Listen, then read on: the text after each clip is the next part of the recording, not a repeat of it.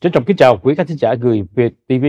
Thưa quý vị, hôm nay là ngày thứ sáu, 19 tháng 7 năm 2024. Trước khi bắt đầu chương trình à, điểm tin trong ngày ngày hôm nay, chúng tôi xin cáo lỗi ngày hôm qua chúng tôi không có chương trình là bởi vì trục trặc kỹ thuật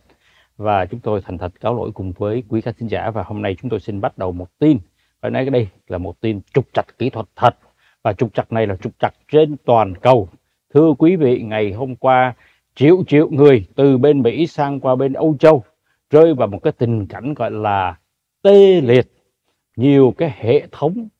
à, từ chuyện đi hàng không đi máy bay chuyện đi băng qua biên giới giữa quốc gia này đến quốc gia kia rồi chuyện các nhà thương phải ngừng lại không làm việc được rồi các cơ sở thương mại từ ngân hàng cho đến những cửa hàng mà dùng những cái phương tiện điện tử để mà giao dịch hầu như là tê liệt từ ngày hôm qua và một số nơi trong ngày thứ sáu vẫn nằm trong tình trạng đó thưa quý vị đó là đến sự trục trặc kỹ thuật bởi vì một cái nhu liệu. Mà nhu liệu này là dùng để bảo mật cho những cái hệ thống máy lớn mà do các đại công ty họ sử dụng. Cái công ty uh, mà đứng đằng sau cái nhu liệu mà sử dụng cái hệ thống máy để mà bảo vệ an ninh cho các uh, máy chủ của các công ty lớn đó là cái hệ thống nhu liệu của công ty CrowdStrike. Cái máy này được cập nhật để mà họ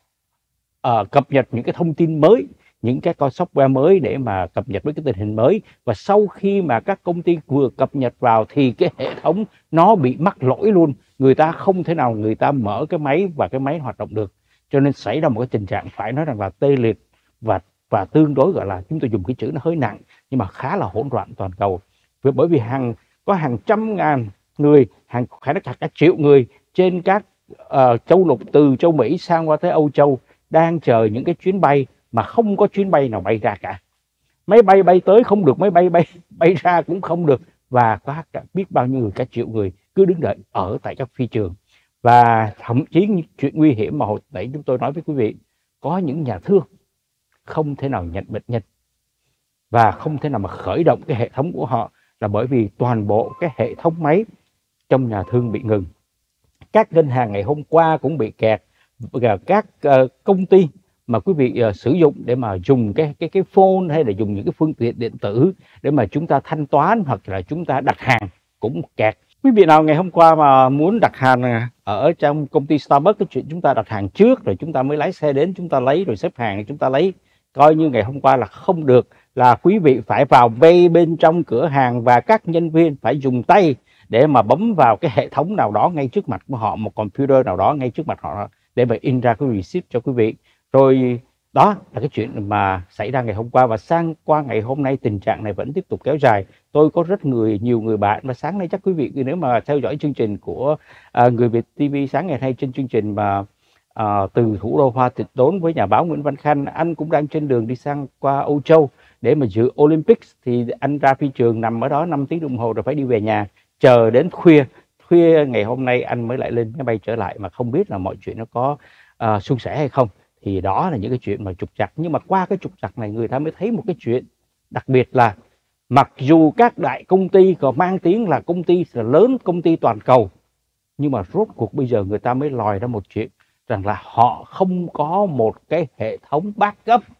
họ không có một hệ thống sơ cua họ không có một hệ thống dự trữ. Nếu mà xảy ra chuyện gì thì có hệ thống khác để nó, nó thay đổi. Rốt cuộc đây lại lòi ra nhiều cái chuyện khác thì rõ ràng có thể có thể rằng là sau cái buổi ngày hôm nay các công ty lại phải đầu tư nhiều tiền hơn để mà có một cái sự uh, chuẩn bị một cách chú đáo. Đó là vấn đề vấn đề toàn cầu sáng ngày hôm nay. Và ngày hôm nay phần tin mà liên quan đến Việt Nam một chuyện mà chúng ta không thể nào chúng ta không nói đến. Đó là ông Nguyễn Phú Trọng tổng bí thư của Đảng Cộng sản Việt Nam qua đời tin từ các cơ quan chính phủ của Việt Nam cho biết là ông Nguyễn Phú Trọng đã bị bệnh nặng và sau một thời gian lâm bệnh thì ông đã qua đời vào ngày hôm nay, ngày 19 tháng 7 năm 2024 vào lúc 13 giờ 38 phút tại bệnh viện Trung ương Quân đội Hà Nội 108 ở tại Hà Nội, và ông thọ 80 tuổi, thì thưa quý vị, với ông Nguyễn Phú Trọng, chúng ta biết rằng là ông là một người gọi là kiến trúc sư của một cái chương trình chống tham nhũng gọi là chương trình đốt lò. Thì uh, lò của ông trong thời gian vừa qua đốt rất nhiều cây củi nhiều cây củi bự cũng đã bị đốt. Và ngay những người mà thân cận nằm trong tứ trụ cũng có hai người phải đi ra ngoài. Đó là trường hợp chúng tôi nói đến ông võ văn thưởng và ông vương đình huệ cũng phải đi. Nhưng mà lò của ông à, lửa vẫn còn vẫn cháy và, và củi không biết bao nhiêu cái củi khác nữa sẽ đưa vào nhưng bây giờ cái lò lại không còn thì những người nào sẽ tiếp tục cái sự nghiệp của ông à, Nguyễn Phú Trọng chúng ta à, không biết nhưng mà chúng ta chỉ có một cái vài cái điều mà mọi người lưu ý đó là trường hợp là trong thời gian ngày hôm qua cũng đưa một cái thông tin cho biết rằng là Đảng Cộng sản Việt Nam họ quyết định đưa ông Tô Lâm là chủ tịch nước. Ngày xưa ông là một tướng công an giữ vậy chức vụ Bộ trưởng Bộ Công an Cộng sản Việt Nam. Đưa ông Tô Lâm là cái người điều hành Đảng Cộng sản. Thay vì đưa cho một ban gọi là thường trực của Trung ương thì đưa cho ông Tô Lâm. Thì nhiều người đã đưa một cái dự đoán, có lẽ ông Tô Lâm là người sẽ thay thế ông Nguyễn Phú Trọng trong vai trò Tổng Bí thư Đảng trong thời gian sắp tới và liệu rằng họ sẽ có đưa ra một người nào đó để thế cho ông Tô Lâm trong vai trò chủ tịch nước mà ông đang nắm hay không, chúng ta cũng chưa biết hoặc là ông Tô Lâm liệu ông có thể giữ luôn hai ghế tổng bí thư và chủ tịch nước trong một thời gian trước khi có những sự là quyết định? Đây là những điều mà đang bày ra trước Việt Nam là người dân họ đang chờ đợi là những thay đổi họ sẽ quyết định như thế nào trong cái sự việc khi ông Nguyễn Phú Trọng ra đi.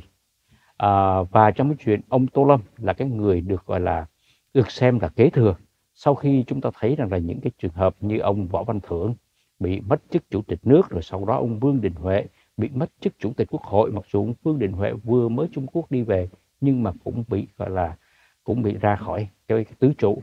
và khi mà ông Tô Lâm vào cái vai trò trong chủ chủ tịch nước của uh, Việt Nam cộng sản Việt Nam thì người ta thấy rằng là người ta thấy đằng sau lưng đó là dáng dấp của một người nắm hết quyền lực ở tại Việt Nam. Và bây giờ những gì diễn ra cho thấy rằng là khi mà Đảng Cộng sản Việt Nam gọi là theo họ thông báo là giao cho ông cái việc điều hành thì cái chuyện này người ta cũng cho biết thêm rằng là chính ông Trọng, trước khi mà hôn mê, ông đã ra cái lệnh là giao phó hết toàn bộ cho ông Tô Lâm. Thì đó là những sự kiện liên quan đến Việt Nam mà chúng ta cần chú ý cho những ngày sắp tới. Sang qua một câu chuyện khác ở tại Hoa Kỳ, thưa quý vị, chắc quý vị cũng biết rằng là ngày hôm qua là ngày cuối cùng của Đại hội Đảng Cộng Hòa. Và trong cái ngày này thì thưa quý vị, cái điều mà mọi người đều biết đó là Đảng Cộng Hòa đề cử cựu Tổng thống Donald Trump ra đại diện đảng để mà tranh cử chức Tổng thống vào ngày 5 tây tháng 11 sắp tới. Và trong cái sự việc này thì ngày hôm qua chúng ta chứng kiến một cái bài diễn văn nhậm chức được gọi là một bài diễn văn nhậm chức dài nhất trong lịch sử hơn 90 phút nó khoảng chừng là 92 phút à, thì trong cái bài diễn văn này thì cái sự mô tả của mọi người rằng là khi ông Donald Trump bắt đầu uh, nói cái bài diễn văn trong những lời mở đầu. Ông kể về một cái câu chuyện mà mình đã bị ám sát hụt từ hôm thứ bảy tuần trước. Và ông kể cái tình cảnh đó để và làm cho những người nghe những người tham dự ở trong cái buổi đại hội đảng cộng hòa ngày hôm qua nhiều người xúc động và nhiều người phải là họ có cảm giác ông là một anh hùng ông là một người nhân vật xuất chúng một người can đảm. Thì khi mà ông đưa ra cái thông điệp và ông đưa ra cái cảm nhận là mình đối diện với cái chết uh, ngoài cái chuyện ông ông nói rằng là có thể là thượng đế đã cứu ông ông cũng đưa ra cái chuyện là người mỹ chúng ta phải có một cái sự đoàn kết và không có uh, làm cho tình hình chính trị nó trở nên quá căng thẳng trở nên đối lập và dị biệt với những người không bất đồng chính kiến với mình. Tuy nhiên, ông chỉ giữ cái khẩu khí này chỉ trong vòng hai mươi mấy phút khi ông kể về cái câu chuyện mà ông bị gọi là uh, bị bắn hụt. Thì sau đó thì thưa quý vị, nhiều người phê bình rằng là sau đó thì ông không còn nhìn vào cái teleprompter để mà tiếp tục đọc cái bài diễn văn mà được soạn sẵn theo cái khẩu khí mà ông nói rằng tìm sự dung hòa thì sau đó ông có lẽ ông gọi là cương ngoài kịch bản thì lúc đó người ta thấy là ông Donald Trump tiếp tục là ông Donald Trump. Ông gọi bà Nancy Pelosi là bà crazy, là bà điên, rồi chỉ trích ông Biden. Mặc dù trước đó trong bài uh, khi bắt đầu bài diễn văn ông có nói rằng là tôi sẽ không nhắc đến ông Biden nhưng mà trên thực tế trong bài đó ông nhắc đến ông Biden hai lần và những lần mà ông nhắc đến để mà gọi là chỉ trích và chê bai ông Biden thì cái không khí mà ông nói rằng là tìm cái sự uh, dung hòa để tránh một cái sự gọi là gây cái sự đối đầu trong xã hội Mỹ nó không diễn ra trong ngày hôm qua và cái điều người ta cũng chú ý là trong những cái thông điệp mà ông Trump đưa ra trong bài diễn văn thì ờ, những cái chi tiết mà ông đưa ra phải nói là sai lạc, sai sự thật. Người ta đếm khoảng chừng 22 chi tiết như thế và tất cả mọi chuyện là đều đổ vào những cái con số cho ông Biden là gây ra những sự mà thiệt hại của đất nước. Nhưng mà những con số đó khi mà check lại, coi kiểm chứng lại có đúng sự thật hay không thì đều không đúng. Thí dụ ông nói rằng thời gian của ông Biden là đưa đến là cái tỷ lệ lạm phát lớn nhất trong lịch sử, kỷ lục của lịch sử. Nhưng mà thưa quý vị, trong thời ông Biden, vào tháng 6 năm 2022, tỷ lệ lạm phát cao nhất là 9.1 phần 9.2%. Và sau khi mà người Nga nổ súng vào Ukraine, gây ra một cái tình trạng là mất cái một cái nguồn nhiên liệu ở trên toàn cầu bởi vì Nga là quốc gia sản xuất 10% trữ lượng dầu trên thế giới. Và khi thế giới bị hụt đi 10% đó đương nhiên dầu khan hiếm. Và khi dầu khan hiếm nó đưa đến tình trạng gì? Giá giao thông vận tải tăng lên và trong thời điểm đó, lạm phát ở Hoa Kỳ lên mức cao nhất trong vòng 40 năm là 9.2 nhưng mà ông Trump nói rằng giá lạm phát đó là cao nhất trong lịch sử. Thì trong lịch sử, cái giá cao, cái tỷ lệ lạm phát cao nhất vào thập niên 1920 là 23.7% thì đó là những câu chuyện mà trong thế giới chính trị cần phải có những luận điệu tuyên truyền như thế. Thì qua những cái câu, những cái bài diễn văn ngày hôm qua của ông Trump người ta vẫn thấy rằng là, thứ nhất là cái tình trạng mà ông Trump muốn là mọi người Mỹ ngồi lại với nhau, đoàn kết lại với nhau, khắc phục những dị biệt không tạo thêm những cái căng thẳng, thì chuyện đó nó không xảy ra và một cái điều nữa mọi người đều chú ý, trong bài diễn văn của ông Trump thì hầu như ông không đưa ra một quốc sách nào cả. Và khi không đưa ra một quốc sách người ta không biết rằng là cái nhiệm kỳ tới ông sẽ vẽ ra nước Mỹ nó như thế nào. Những gì mà ông nói trong thời gian mà ông gây ra tranh cử những luận điệu tuyên truyền bài di dân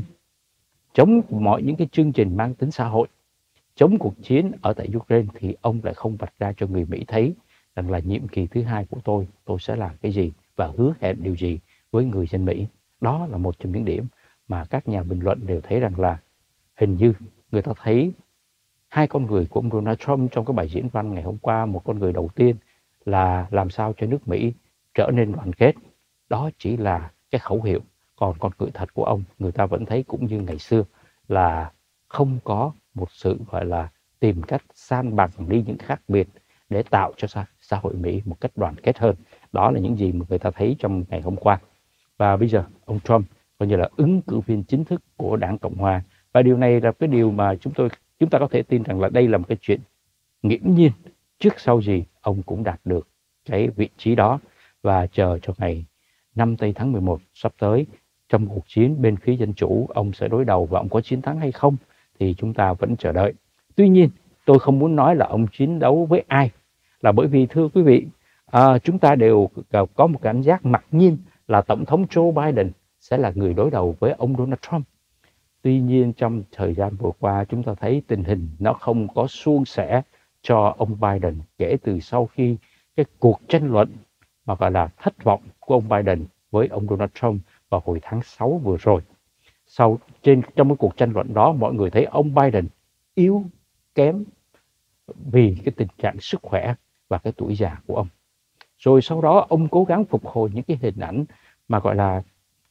mình còn mạnh khỏe, còn minh mẫn. Nhưng người ta lại thấy ông Biden trong những cái một số cuộc họp báo mà ông đi solo khi mà sau cái cuộc họp của khối thượng đỉnh của khối NATO thì người ta thấy ông cũng lầm lẫn một số chuyện chẳng hạn như ông gọi lộn ông tổng thống Ukraine. Là, là ông Zelensky ông gọi lộn thành ông tổng thống Putin coi như là kẻ thù của Ukraine hiện nay. Và ông gọi lộn bà phó tổng thống của mình bà là Kamala Harris bằng tên là ông phó tổng thống Trump. Thì ông ông đưa ra những cái gọi là những cái sự gọi là lơ đễnh hay là lộ rõ rằng là ông có một số vấn đề nào đó về cái sự minh mẫn. Và gần đây hơn nữa thì ông Biden mới đây chắc quý vị cũng còn biết ông là vừa mới bị Covid. Và ông bị mắc Covid rồi thì bây giờ người ta lại càng thấy rằng đầu vào cái vấn đề sức khỏe của ông Biden là một cái chuyện là người dân Mỹ quan tâm. À, bên phía dân chủ bắt đầu có những tiếng nói càng lúc càng mạnh hơn là ông phải quyết định sớm rút lui để cho một cái thế hệ trẻ hơn. Bởi vì người dân Mỹ có thể nhiều người đồng ý là những chính sách của ông trong thời gian vừa qua đã đưa nước Mỹ vượt qua đại dịch,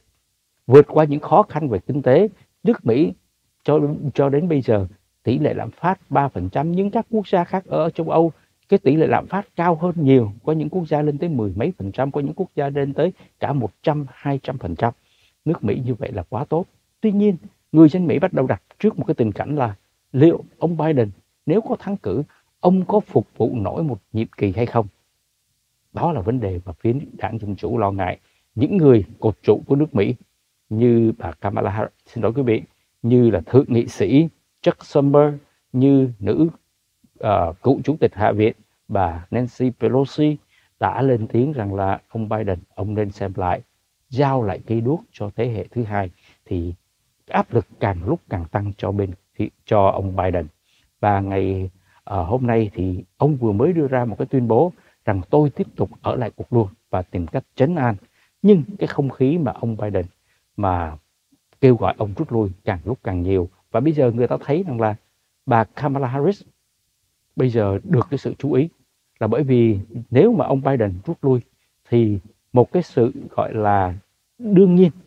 là bà Kamala Harris có thể được là cái người mà gọi là tiếp tục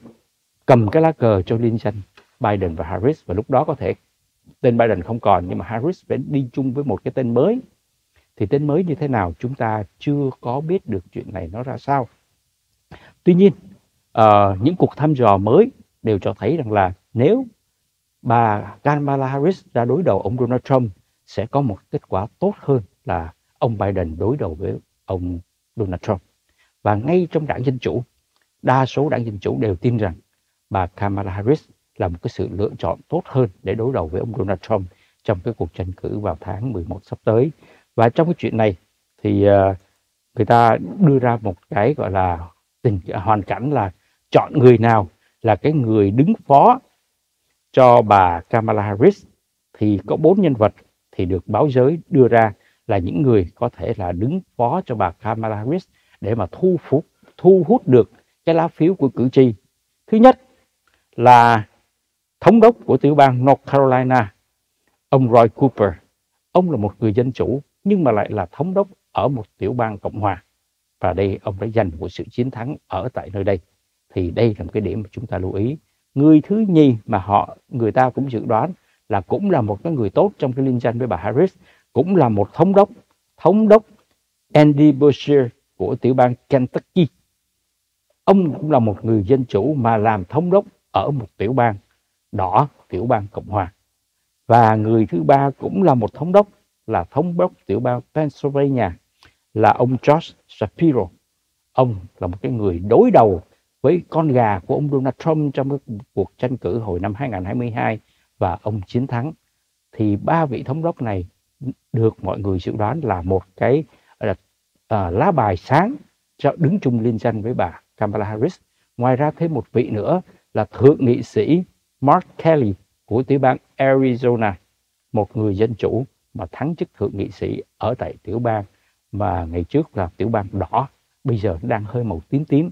thì bốn nhân vật này được xem là bốn nhân vật sáng giá nếu đứng chung liên danh với bà Kamala Harris. Tuy nhiên người ta cũng đặt ra một câu hỏi. Liệu nước Mỹ có chấp nhận một nữ tổng thống hay chưa? Và trong trường hợp bà Kamala Harris, cái vế mà nữ tổng thống lại còn thêm một cái yếu tố nặng nề nữa. Đó là một nữ tổng thống da màu. Nước Mỹ có chấp nhận một nữ tổng thống da màu hay chưa? Cái tâm lý này có thể khiến cho cái cuộc bầu cử của bà Kamala Harris cho vào tháng 11 sắp tới nếu nếu nếu bà được ông Biden nhường chỗ. Tuy nhiên, có một số ý kiến cho rằng cái tâm lý mà nước Mỹ chưa có sẵn sàng cho một vị tổng thống thì nó sẽ thay đổi. Nếu ông Biden mà ông quyết định rút lui ra khỏi cuộc đua và ông coi như là từ chức và khi nếu ông Biden từ chút chức trong lúc mà là nhường chỗ cho bà Kamala Harris thì, thì sự từ chức của ông Biden có nghĩa là bà Kamala Harris nghiễm nhiên trở thành tổng thống theo đúng hiến pháp của Hoa Kỳ. Thì trong lúc đó, cái suy nghĩ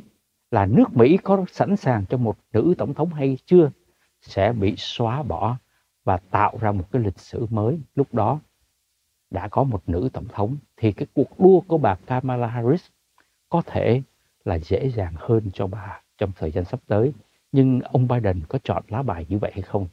Đó là điều mà rất nhiều người trong phía Dân Chủ họ đang chờ đợi. Và trước khi chấm dứt chương trình, chúng tôi xin có một cái thông báo. À, sẽ có một cái buổi à, ca nhạc kỷ niệm 45 năm quốc tế cứu thuyền nhân Việt Nam tổ chức ở tại à, phòng sinh hoạt Nhật báo người Việt vào ngày thứ Bảy ngày mai vào lúc 7 giờ 30 phút tối ngày thứ Bảy 20 tháng 7. Và chương trình này à, không phải do người Việt tổ chức mà do nhạc sĩ Trần Chí Phúc và Bằng Hữu đã à, thuê mướn cái văn phòng uh, cái phòng sinh hoạt của người Việt để tổ chức cái đêm này. Thì thưa quý vị, phải nói rằng là hầu như chúng ta, những người tị nạn, không ít thì nhiều, chúng ta đều có gia đình, chúng ta đều có bạn bè, chúng ta đều có thân nhân đã từng vượt biên. Và có thể nhiều người trong chúng ta không có may mắn thì có luôn cả những người thân nhân của mình, bạn bè của mình mất tích trên đường vượt biển. Thì cái chương trình mà kỷ niệm 45 năm ngày thuyền nhân là một cái ngày phải nói rằng là người Việt tị nạn cần, cần ghi nhớ. Đó là một cái hành trình lịch sử. Nhiều người đã bỏ sinh mạng đến Hoa Kỳ hay là bỏ sinh mạng để rời Việt Nam để đi tìm con đường tự do. Và nếu quý vị ở trong khu vực uh, Lý Đô Sài Gòn